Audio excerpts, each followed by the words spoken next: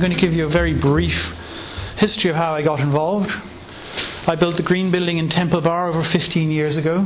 We put wind turbines, the yellow devices, solar PV, the dark blue things, and solar thermal devices on them, and a whole lot of other things. Um, and that was built, as I say, 15 years ago, and we've monitored them ever since. And we know um, exactly how they have all performed. Initially, the PV systems had to be off grid. We charged batteries and we had a separate circuit. And in 2005, we were allowed to use a thing on the right which is called a grid connected inverter, which enabled us to connect the electricity directly to the grid. And that's a picture of what happened when we switched them on. And you see the meter there is reading 1711 or 1711. That was the output of those PV arrays in August 2006, which was six years after they'd been installed. And the, the theoretical output was 1710, so they were doing exactly what it said on the tin. They required no maintenance during their lifetime, they'd been completely ignored deliberately. So that was, to me, very convincing evidence of the fact that these things did what they said. The bottom picture there is the data that I've been recording ever since they were grid connected. So, and that's every month, how many kilowatt hours they generated per month for, for three and a half years now. So I now know with great deal of certainty what these things do. That's the four years sort of all amalgamated news, and that's January to December. You can see we had that incredible year in 2007, April 2007. I don't know if many of you remember, but it was phenomenally sunny. But otherwise, there's a fairly consistent pattern there.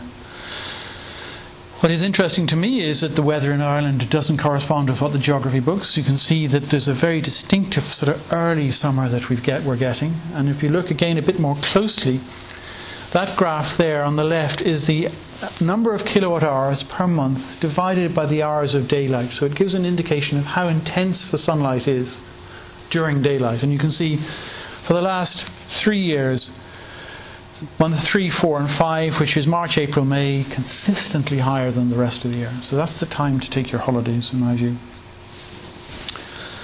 So, having got that data and having shown that the technology worked, uh, we went and I thought this is a product that I'd be happy to endorse and happy to try and introduce to Ireland because I know it reduces carbon emissions, I know it's maintenance for free. I know it's not cheap, and I had to try and just demonstrate to people who were interested uh, what it would do. These are some of the first installations. Uh, the one on the top left is one of the first domestic installations. That's a passive house in Kildare. That's what's called an in-roof system. So those panels are taking the place of the slates, actually built into the roof. The one below is an on-roof system where they're above the slates, and the other one is where is a slate system where they're actually taking the place of the slates. We also put them on the ground. Where there's a ground, the essential requirement is south facing, southeast to southwest will do, but anywhere in that area, unshaded. And obviously, a roof is the first space, but if you have space in the ground, uh, they work just as well on the ground, and they're less expensive to put there and they're easier to get at.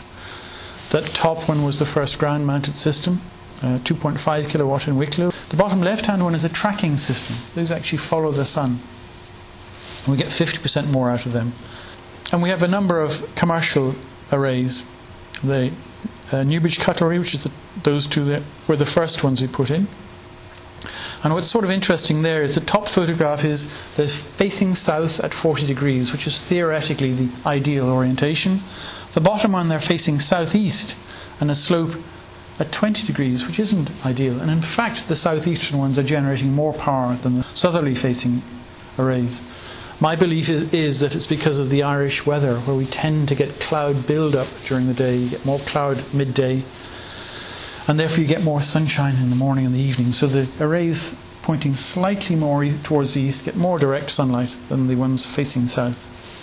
So I put together a, a case study for Energy Quarter because my aim in life is to try and inform people as accurately and reliably as I can about what's happening here. I'm passionately concerned about climate change and what we're doing to the planet, and I really do want to try and help reduce carbon dioxide emissions because that's one of the main acts of vandalism that's going on at the moment. So I did a study and I took a 140 square metre house, sort of 1500 square feet, uh, not a large, not a small house.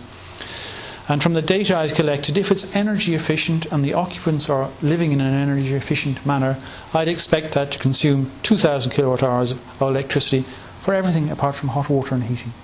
And 75% of that's consumed during the daytime, day tariff, and 25% at night. Most houses with boilers use electricity to hot, heat the hot water during the summer. And typically the summer today is 30 weeks of the year. And uh, again, they use about 12 kilowatt hours per day for hot water, or 2,500, and 20 kilowatt hours um, per annum. And again, half of that's during the daytime tariff and half of it during, during the nighttime tariff. I'm splitting between the two tariffs because it's cheaper at night. And if you price that up, I did this a few months ago, it works out at about 900 euros per annum. So that's what in an energy efficient house you should be spending on electricity. And I've, that's the starting line because you can't save what you're not spending. Um, so if you were to have your electricity cost, you'd only save 450 euro, no matter what anybody says to you about all the technology they're selling. In an inefficient household, and most households are inefficient, it'll be twice that.